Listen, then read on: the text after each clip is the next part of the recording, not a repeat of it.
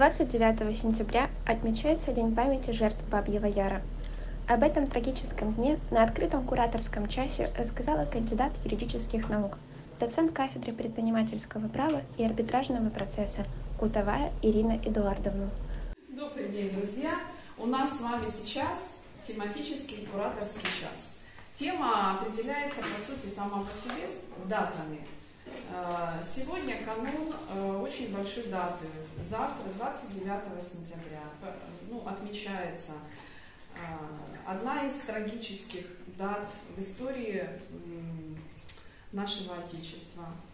80 лет со дня начала Холокоста против...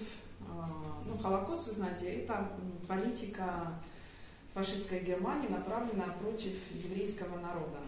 Евреи были расселены, вы знаете, сейчас они расселены по всей планете, во многих э, государствах они живут. Но был особый период в истории нашей страны, когда агрессия фашистов была особенно явна, это Вторая мировая война. И вот 29 сентября 1941 года начались э, в городе Киеве массовые расстрелы а, еврейского населения. Причем это, казалось бы, такие будничные события, но это были очень масштабные. Вот, э, трагедия Холокоста в Бабьем Яру, вот такое, наверное, словосочетание вы слышали, это такое значимое событие, которое сегодня переоценивается, переосмысливается. Э, это страница истории нашего народа. Приведенные ею факты шокировали присутствующих. За два дня 28-29 сентября 1941 года в Бабьем Яру были расстреляны по разным данным около 200 тысяч человек. Также студентам был показан документальный фильм о событиях Бабьего Яра. Я сейчас вам а, покажу небольшой репортаж а, с картинками, с, с очевидцами, а, для того, чтобы ну, немножко, может, окунуться в ту атмосферу, чтобы немножко прочувствовать больше, чем просто вот эти цифры.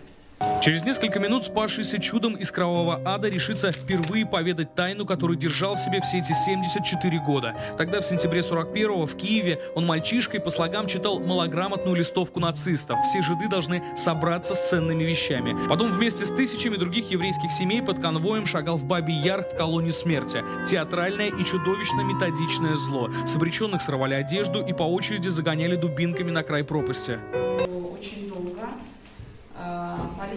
политика замалчивания этой, этой трагедии длилась еще в, советский, в советское время.